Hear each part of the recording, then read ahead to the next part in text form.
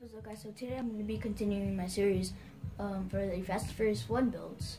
And so today we're going to be doing Brian's um, Mitsubishi Eclipse. So yeah, let's get started into this. So again, same armor upgrades, street brakes, bumpers.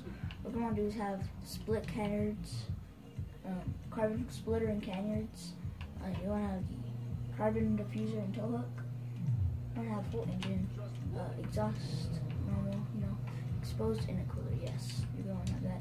Hood is going to be a carbon, just a full carbon hood. Uh, lights, yes. Uh, we're going to have a lime green neon. We're going to have a, um, a classic, um, lime green on your car.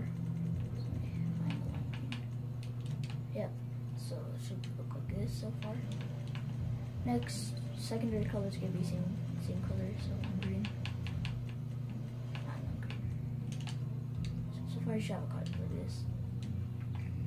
So we're gonna just put a roll cage on that. Uh, put a carbon roof, yes. Uh, custom skirts. The last one we're gonna have is a, um, I think it might be GT wing, yes. Some uh, sport wheels on that are these wheels. You just gonna leave those like that. One has custom tires, no bulletproof.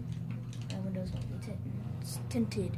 So I guess th so. This is how you build Brian's um, uh, Mitsubishi Eclipse from the first movie. So I hope you did enjoy the build, and I will be continuing this series next. I will be doing Dom's Chargers from the first movie. So, yep, talk to you guys later. Peace.